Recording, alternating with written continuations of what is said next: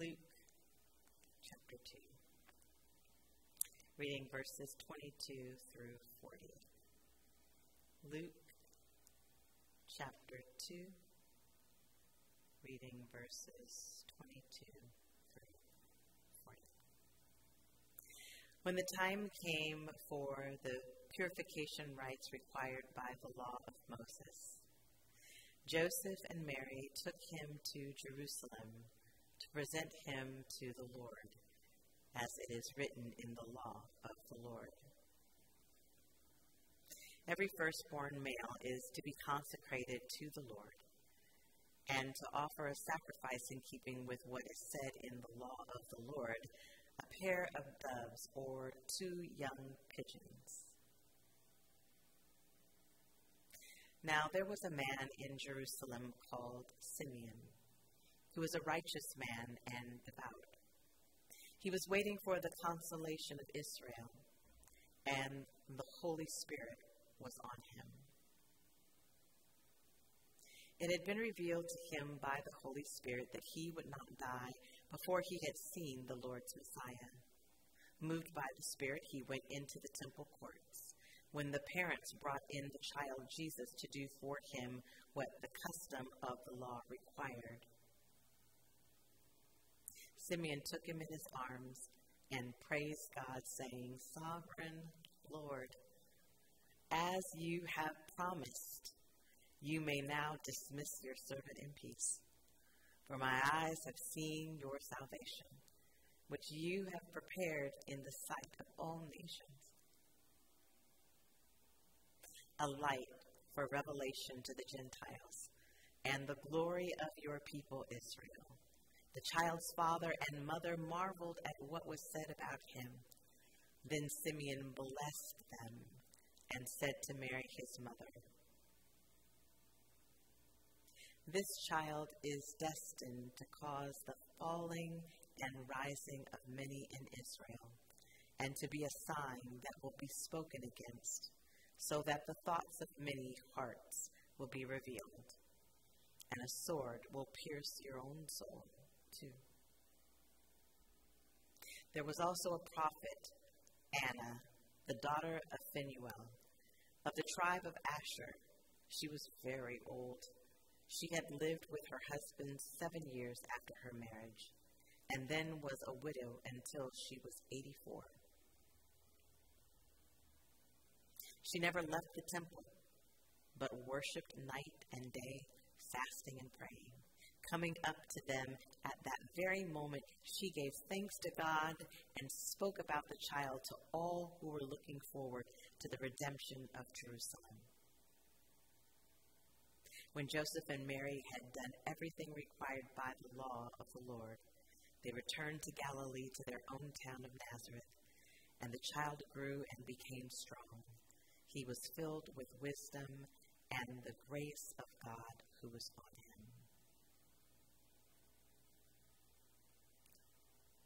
This is the word of God for the people of God. Thanks be to God. Amen.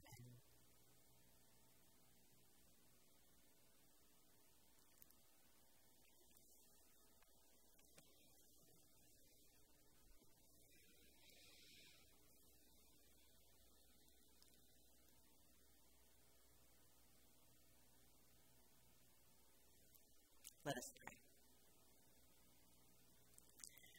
Holy One, Holy One, Holy Father. Bless our hearts to hear what you have to say to each of us. Draw us in by your Spirit to hear your voice. And now may the words of my mouth and the meditation of my heart be acceptable.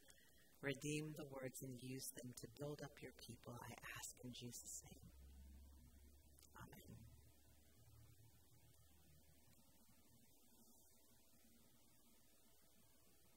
Our scripture lesson for today takes us to the temple in Jerusalem. In the fullness of time, Mary and Joseph had made their trip to the temple. It was their time. It was their time. Mary, as all women, were seen to be unclean for the first seven days after giving birth to a son, or 14 days for a girl. And then they had to wait another 33 days for their purification time to be completed. Then they were required by law to present an offering at the temple for purification and for sin. And for those who had those means available, they presented a young lamb that was without spot or blemish. But for those who were poor, they were to give two pigeons or to give two turtle doves. And so we find that Mary and Joseph went with their turtle doves, one for purification and one for sin. We know that Jesus had no sin, but it was important for Mary and Joseph, who just had this baby boy, not understanding all that it would mean, to follow all of the customs as were set by the law. Jesus was baptized according to the custom. He was dedicated to God and given back to God as the firstborn son of Mary and Joseph. This was a special time. It was a holy time. Now, there's some debate as to who Simeon was. Some say that he was the son of Hillel and the father of, Gam- of, Gam- of Gamaliel. Sorry. Um, this would have made him a part of the house of David. Some say that he was very scholarly, but what we do know from the scriptures is that he was a devout man. With prayer and with fasting, with steadfastness, he followed after the Lord, that he treated everyone with the kind of love and reverence and respect that God called on for all of his people. Simeon, he was a man who was worthy of God falling on him with the Holy Spirit. The text tells us that he was filled with the Holy Ghost. The Holy Spirit revealed to him that he would, at some point, see the Messiah who had long been promised and be born.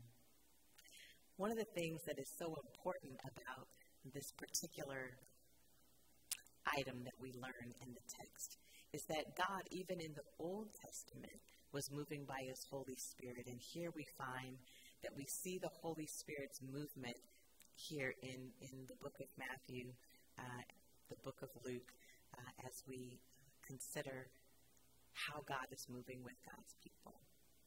He tells him in some way or another you are going to be alive when the Messiah is born. Sometimes people ask me, well, how do I know what God wants me to do? Or, how do I know what, what God is doing with this? Or, or how will I know that? And one of the things that we learn from this text is that God moves by the Holy Spirit. He'll come upon us with His Holy Ghost to impress upon our heart a truth that He wants us to know if we're not used to listening, we may not know exactly what that is. We might think that it's us. We might think that it's just a passing thought. But, but when we are tuned in, when we are, are those who study the prophecies, the promises, the Word of God, we start to be able to recognize when God is speaking because we've learned His voice. Have you ever heard your mom or dad say something? You know it's them right? If you heard somebody in a mall say it, call your name. They have that way of calling you or saying something where you know that it's them because you know their voice. And so, as we study the scriptures, as we study God's word, we begin to hear the kinds of things that God will say. And we're able to recognize his voice because even when we read in the scriptures, what we, what we learn is, is even how God's voice feels as it resonates in our hearts as we read it. And what we know here is that by God's Spirit that he spoke, that he spoke to Simeon, and Simeon had this sense of knowing that he was going to be alive when the Messiah was born. It's exciting. I want you to hold on to this because what God did for Simeon, God does for all people if we would seek after him, even as Simeon did if we would seek to know His word and His voice, as Simeon did, if we would seek to know God's promises, as Simeon did. So, as we think about uh, what the scripture for today uh, is telling us. As we think about the fact that Jesus and Mary and Joseph, they went to the temple. They went there to fulfill all that was required of them by the law. If we think about the fact that Simeon saw him and said, Oh, Messiah, now, Lord, you can release me. As we think about what Anna said, Oh, the coming of the Lord's day of salvation, it is coming, it is near. When we think about these things, then the question is, well, why is that really significant? Why is that significant? All of the scriptures that we've read today, all of the scriptures that we've heard today, they all talk about God speaking and God's voice and God's word accomplishing whatever it is that it says. That's one of the things that's most significant about this text today. Is that whatever it is that God says, it is true. Whatever it is that God says, it is true. I just want you to practice that with me. If you don't mind just saying that, whatever it is that God says, it is true. Just say that with me. Whatever it is that God says, it is true. That is something that we need to take to heart as God's people. Whatever it is that God says, it's true. And it's right. And when we get that into our hearts, when we get that into our spirits, when we own that as our truth, our lives will start to take a shift and begin to transform. Whatever it is that God says, it is true. Whatever it is that God says is right. And we see this come to pass here in this particular passage. God said that a Messiah would be given, that a Messiah would be born. Not only did God say it, it was true. And not only was it true, it was right. And Simeon was able to see this. As he picked up the child, I believe that the Holy Spirit witnessed to him saying, Messiah, Messiah, Messiah. As he picked up the child, how else would he know except for by the witness of the Holy Spirit? God spoke to him and said, You will see the Messiah before you die. Then he picks up this child, not knowing Mary and Joseph from any other parent. And when he picks up this child, he gets the witness of the Spirit Messiah. Messiah. What an incredible feeling it is to know that you have met the Messiah face to face. And what a wonderful thing it is to know that what God said, it will come to pass. Whatever God promises, whatever God says to you, it will come to pass. I remember I prayed a prayer when I was a young girl, and it took 25 years for that prayer to come to pass. I mean, I don't know what God had to move around, who He had to work with. I don't know all of the details. All I know is that I prayed and I was an adult before I saw the answer to that prayer. And when the prayer was answered, I had a witness to my spirit this is the answer to your prayer. Now, who would think that it would take 25 years to answer a prayer? I mean, God, have you forgotten me? But we don't know all of the things and all the people and all of the hurts and all of the situations that God has to resolve and move through to get to a place of answering prayer. But just because it doesn't get answered when you ask for it doesn't mean that God is not on the job. Can I get an amen? God is always working for our good. And I prayed that prayer as a child and I got it answered 25 years later as an adult. Simeon, he prayed and he sought the Lord. He desired to be able to see the Messiah in his lifetime. I would imagine that if he's anything like I would imagine him to be, that he prayed that prayer as a young child, as he learned the scriptures, as he learned and heard about the prophecies, and not when he was 10, not when he was 20, not when he was 30, not when he was 40, not when he was 50. I would imagine that Simeon was at least in his 80s and beyond before he saw that promise coming to pass. If God has spoken a word to you, don't give up. God's words are true. If He speaks it, it will come to pass. You think about it. One of the greatest things that we learn from this text is that whatever God says, we find that it will come true. God speaks to us as we need to hear it. And God will guide us to the truth. One of the things I like about this text is that when, when Simeon got up that morning, the Holy Spirit said, ah, You need to get to the temple. He felt like he needed to be at the temple that day. Now, you know, there are days when we feel like we ought to do something, and when we get to that place, we go, oh, yeah, it's great that I got here on time because such and such happened. That was great. Or, oh, yeah, I feel like I was supposed to do this, and yeah, things worked out this way. Well, for Simeon, I don't know that he knew that the Messiah child was going to be there, but he, he knew he needed to get up and he needed to go to the temple. Now, why am I saying that? I'm saying that because sometimes we get an unction, a feeling that we ought to do something. Get up and do it. You don't have to know exactly why the Lord wants you to do something, why He wants you to give something to someone, why He wants you to say this to a particular person, why He wants you to accomplish a particular task. But for whatever reason, make sure that as the Holy Spirit moves on you, that you go and do that thing. Don't say, oh, that was just indigestion. Oh, I'm not sure that that was the Holy Spirit. Oh, I'm just not. I think that I'm just going to sit here. Get up and pay attention. Because you have to remember that God is always moving by His Spirit. That's one of the reasons why Be Still and Know That He is God is such a powerful scripture. Because our stillness and our ability to touch the heart and the Spirit of God, to be still enough to feel God moving in our hearts or to put a thought into our minds, we need to have moments of stillness.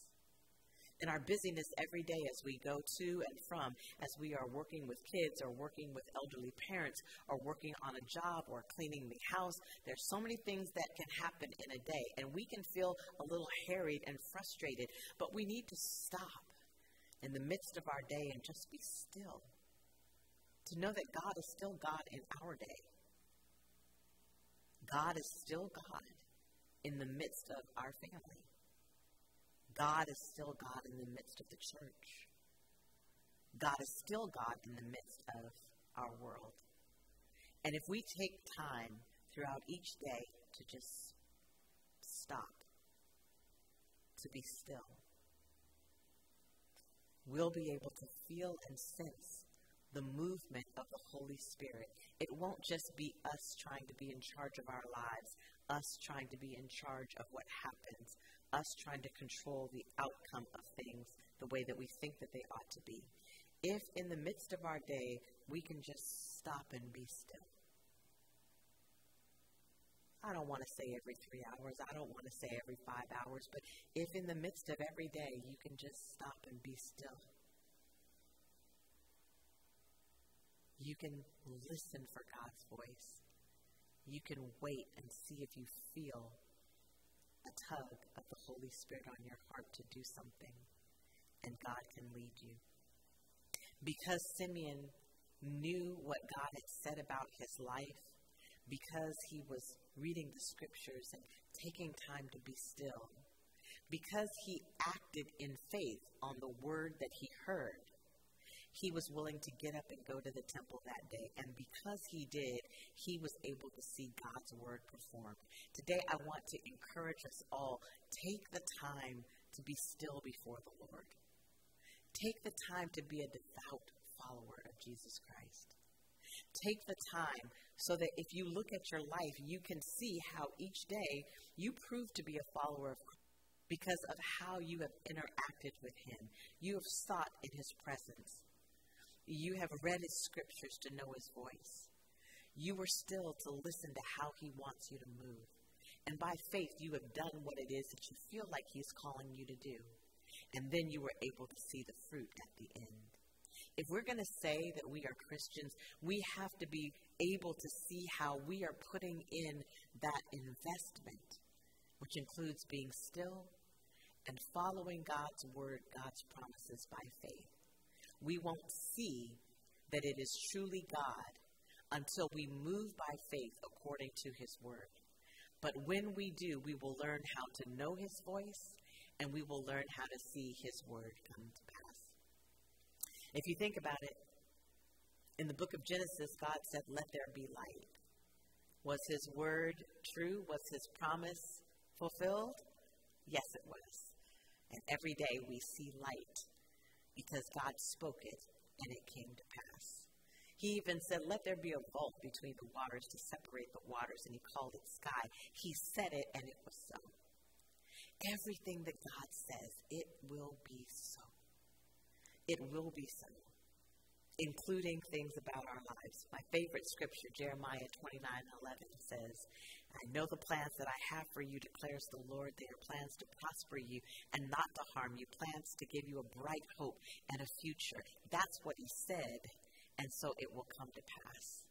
And sometimes we get a specific word that God speaks to us about our lives. And sometimes we can hold on to a promise that God has spoken like that.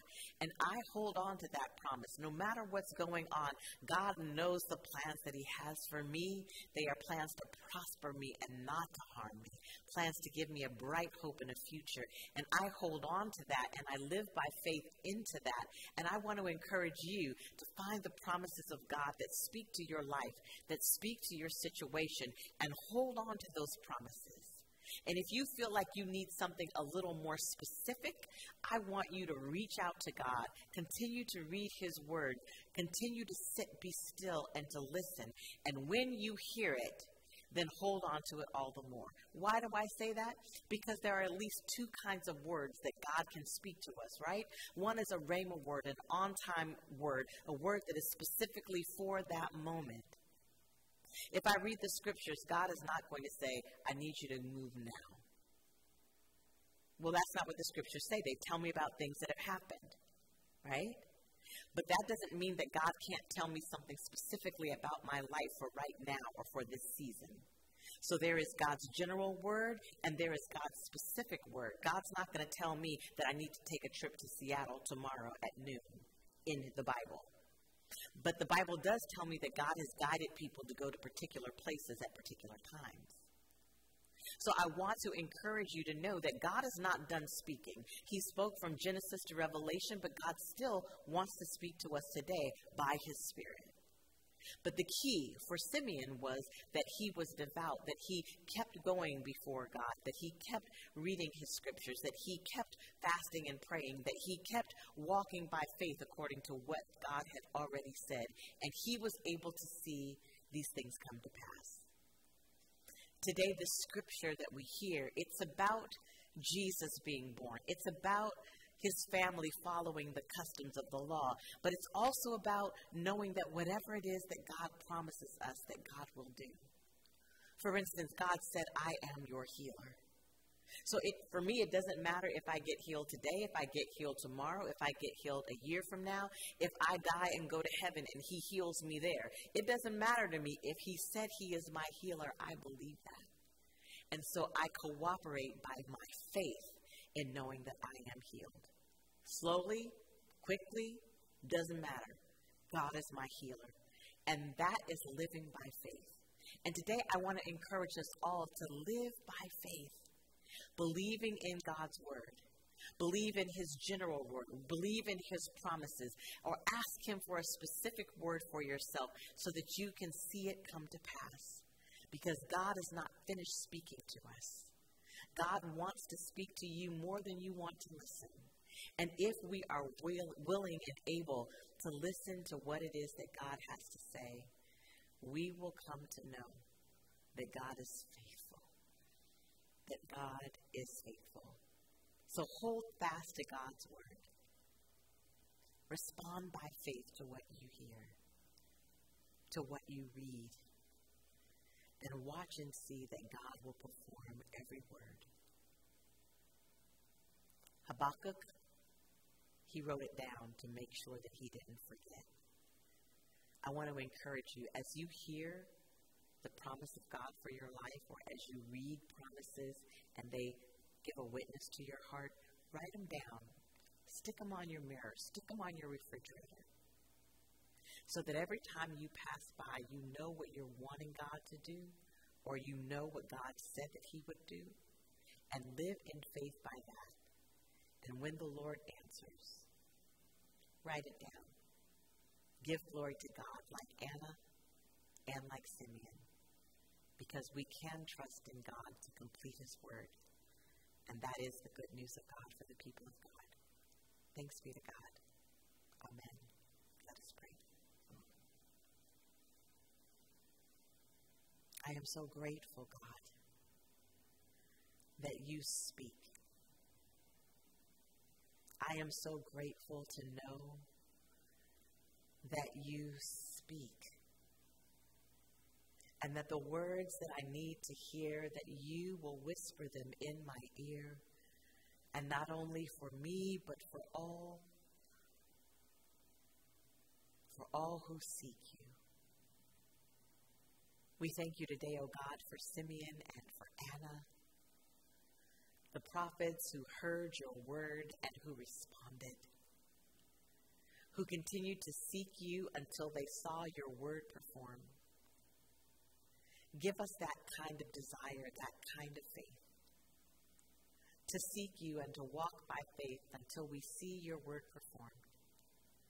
And then walk by faith even more boldly as we continue to live according to your promises, knowing that they are yes and amen, that they will come true for anybody who is troubled today, anybody who is feeling a little forlorn, I encourage you and challenge you to read the scriptures, read Bible promises, find a promise to hang your hope onto, and then hang onto it all the more. Ask the Lord to speak to you. What does He want to say to you about your life, about this promise? Write it down so that you don't forget it. Let it be a touch point for you. Let it be an encouragement for you so that you can walk by faith and you can see how God works in your life. God wants to speak, but He needs us to listen,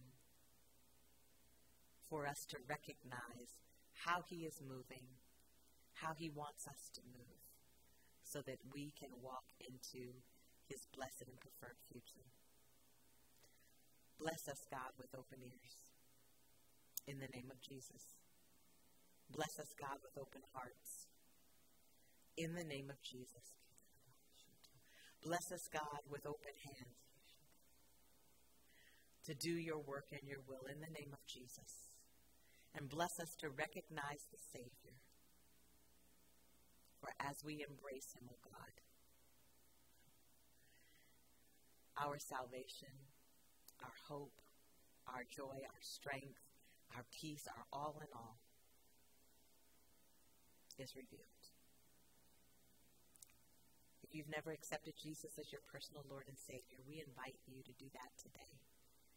He was born and he still is alive and the Savior of the world. If you'll put your trust in him, not only will he save you from your sins, but he will speak words of purpose into your life. He will tell you what you need to know and guide you by His Spirit. You will never be alone. And we win. We ask this all in the name of Jesus.